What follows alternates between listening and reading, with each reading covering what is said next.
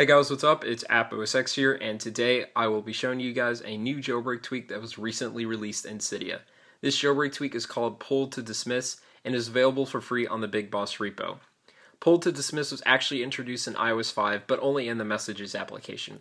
So if we launch up the Messages application in iOS 5 like so, we can start typing a message, and if we want to view more of the conversation, the chat bubbles, or just free up some screen real estate, all we have to do is slide down on the keyboard and the keyboard goes away just like so. We swipe down and the keyboard goes away.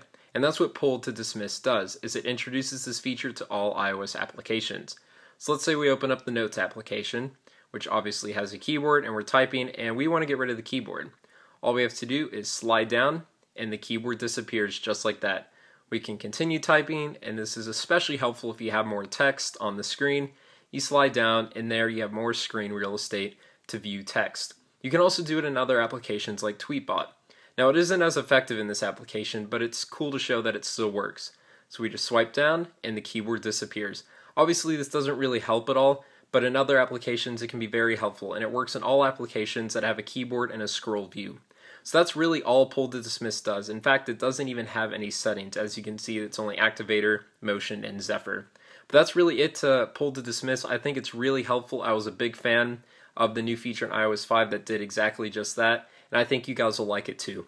If you guys like this video, please give it a thumbs up, subscribe somewhere up there, follow me on Twitter at iAppOSX, add me on Game Center as AppOSX, visit apposx.com, retweet this video, share it across the web. That's it guys, thanks for watching.